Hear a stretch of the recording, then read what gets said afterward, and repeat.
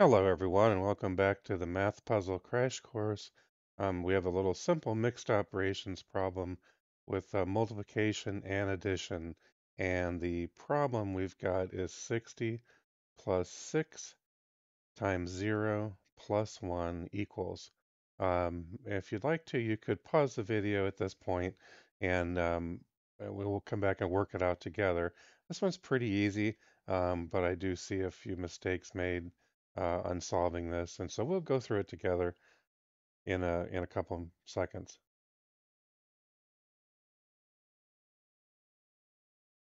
All right, first of all, just remember that multiplication has precedence over addition and subtraction. Multiplication um, is nothing more than shorthand for repeated addition. Um, so you see that you have 60 plus 60 times 0 plus 1. Um, one of the mistakes I see often is people will add 60 plus 60 and then multiply by 0 and then add 1.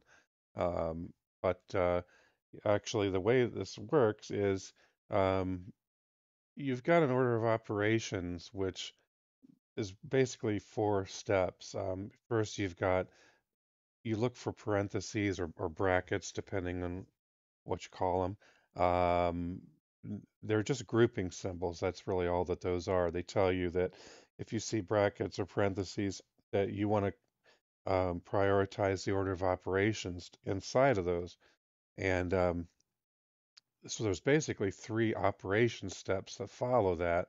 Uh, the second one would be exponents, um, also sometimes referred to as orders or indices. Things like square roots fit in there. Uh, number three would be multiplication and division left to right, and then addition and subtraction left to right. Um, you can think of exponents as shorthand for repeated multiplication. Um, you know, subtraction is the addition of a negative number. So, you know, multiplication and division have equal precedence. Addition and subtraction um, also would have equal precedence. So those are the things you want to keep in mind. You want to keep in mind that relationship between multiplication, division, addition, and subtraction. Uh, and then the order of operations should make should make perfect sense. Um, so other, here what we start with is we start with the multiplication. Um, in this case, it's uh, um, 60 times 0, which is 0. And then you have 60 plus 0 plus 1 equals 61. So the correct answer would be 61. Um, I'll see a lot of people do things like answer with 1, or uh, sometimes I've even seen some odd ones like 121, uh, which is really uh, anyone getting like 121 is really just forgetting what 60 times 0, anything times 0 is 0. But the only thing multiplied by 0 is 60. Um, and again, I mentioned this before, but multiplication is shorthand for repeated addition. Um, so you could replace this multiplication, the 60 times 0, um, with addition. You can replace that with equivalent addition.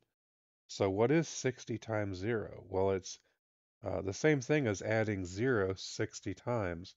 So um, I know this looks ridiculous, and this is why I refer to multiplication as being shorthand much easier to write 60 times 0 than it would be to add up 60 zeros, which adding 60 zeros, I know it seems ridiculous, but I'm trying to make a point here that it really doesn't matter how many zeros I add, you're still going to have zero. If I keep adding nothing to nothing, you're still going to have nothing.